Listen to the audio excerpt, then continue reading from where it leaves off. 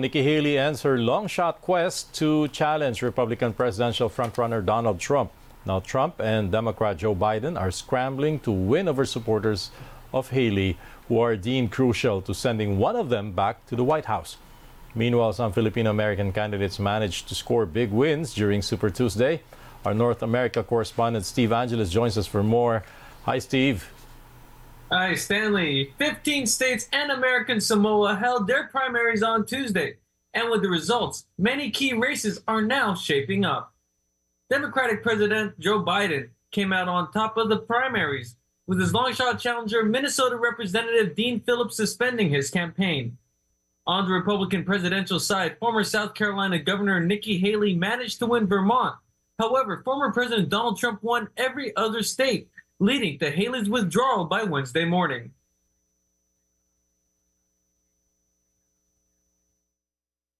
I have always been a conservative Republican and always supported the Republican nominee. But on this question, as she did on so many others, Margaret Thatcher provided some good advice when she said, quote, never just follow the crowd. Always make up your own mind. It is now up to Donald Trump to earn the votes of those in our party and beyond it who did not support him. And I hope he does that. This November's presidential election is now headed towards a rematch of the 2020 presidential elections. And throughout California, the stakes were a bit higher for a few Filipino Americans on the ballots. Tuesday night's primary results saw Jessica Caloza running away with first place in California's 52nd State Assembly District the former Los Angeles Public Works Commissioner has got, had garnered nearly 30% of the votes as of early Wednesday night. Caloza would be the third Filipino elected to the office, following Bonta and current San Diego Mayor Todd Gloria, who is winning his re-election bid in San Diego. Caloza may not be the only Filipino in the state legislature, which has not seen a Filipino since Bonta became Attorney General in 2021. As of Wednesday night, West Sacramento Mayor Christopher Cabaldon, a Democrat, was second in state senate thirds in the state senate's third district, which represents all of Solano plus parts of Napa, Contra Costa, Sacramento, Sonoma, and Yolo counties.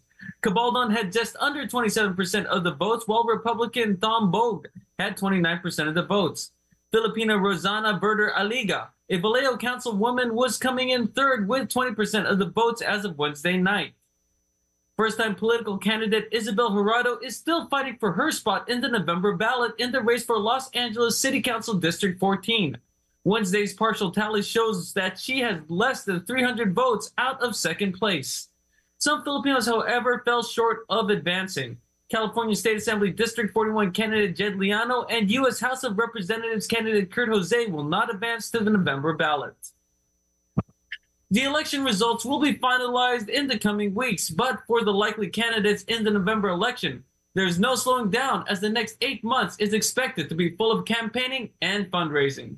Steve Angeles, ABS-CBN News, Los Angeles. All right, thank you so much for the update, Steve. A Houthi missile attack kills three seafarers on a Red Sea merchant ship. The first fatalities reported since the Iran-aligned Yemeni group began strikes against shipping in one of the world's busiest trade lanes.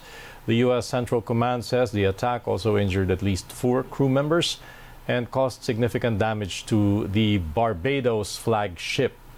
Now, uh, the Houthis have been attacking vessels in the Red Sea since November in what they say is a campaign in solidarity with Palestinians in the war in Gaza.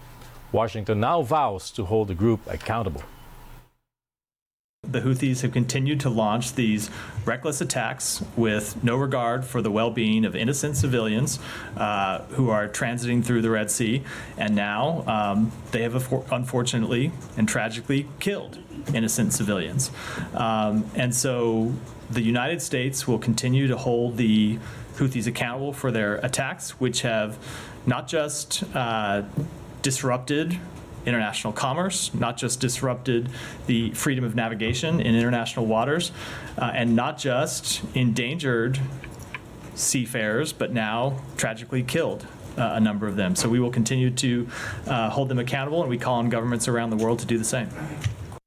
Let's uh, take a look at this year's swag bags for the top nominees of the Academy Awards. Now, each luxurious gift bag contains nearly 60 items worth, take this, a whopping $170,000. Now, it includes a $50,000 trip to a chalet in the Swiss Alps.